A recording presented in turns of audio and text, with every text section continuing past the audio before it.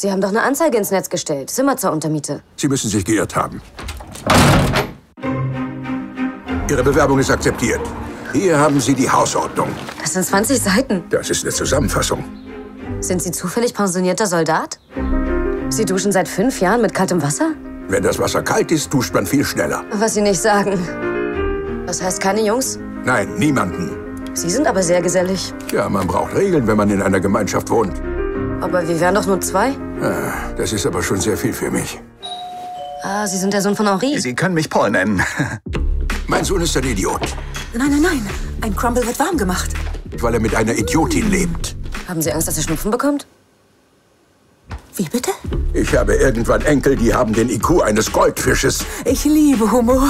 Ganz besonders, wenn er witzig ist. Er ist bei ihr geblieben, weil er glaubt, dass er nichts Besseres haben kann. Aber Ich kann doch kein Paar auseinanderbringen. sie wohnen drei Monate umsonst. Ich mach's für sechs Monate. Sie sind aber verdammt käuflich. Ich bin vor allem pleite. Paul, was machen Sie denn hier? Ich finde, Männer werden erst ab 40 interessant. Sie mögen Fußball? Na, aber natürlich. Bordeaux Problem ist, dass wir zu viele Spieler verkauft haben. Genau, die verkaufen jeden und kaufen niemanden. Nein, das nervt mich. Du warst in einer Diskothek. Das heißt nicht mehr Diskothek, jetzt wird Club gesagt.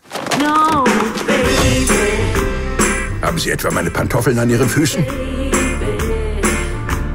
Warten Sie, bis Sie so alt sind wie ich, um zu tun, was Ihnen gefällt? Man hat nur ein Leben, Kostos.